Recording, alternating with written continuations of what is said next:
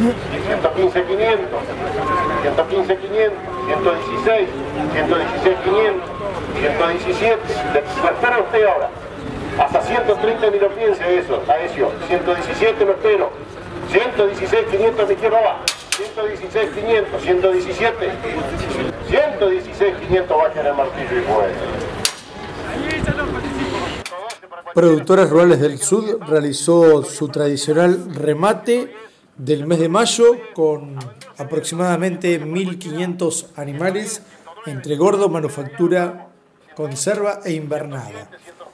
Eh, vamos a los promedios que se lograron en novillos.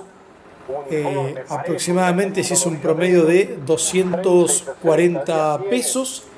En las vaquillonas se hicieron 265 pesos en la vaca manufactura 180 pesos, en la vaca conserva se hizo un promedio de 160 pesos, en los toros 200 pesos.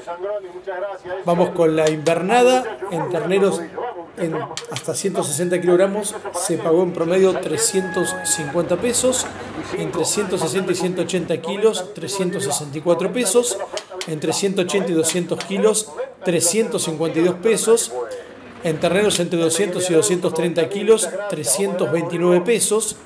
En terrenos entre 230 y 260 kilos, 317 pesos. En novillos entre 260 y 300 kilos, 293 pesos. En novillos de más de 400 kilos se hicieron 246 pesos.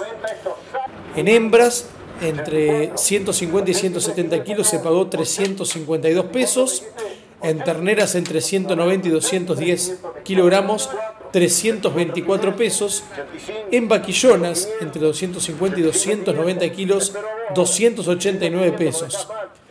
En la cría, vacas vacías se pagó un promedio de 62.500 pesos, en vacas con garantía de preñez 130 mil pesos de promedio, vacas con garantía de preñez usadas 95 mil pesos de promedio. Trabajaron como siempre los martilleros Luciano Yanchis Trabo y Santiago Bro y los plazos, los plazos fueron hasta 60 días de poder pagar la hacienda que se compró en el último remate de productoras rurales del sur que se desarrolló en el mes de mayo, próximo remate en junio. 128 los dos corrales, 110 mil pesos tengo de oferta firme vendido y atento al negocio, dividido por los 460 kilos que tiene el novillo, muchachos, ¿eh? Vamos, vamos. 110 tengo de oferta firme vendido y va, 110 mil abierto vendido y va, 110 vendido y va.